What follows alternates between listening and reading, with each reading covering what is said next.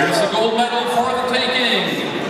Abadino looking very strong in the group stage, but can the University of Taipei bring out a victory? We will see.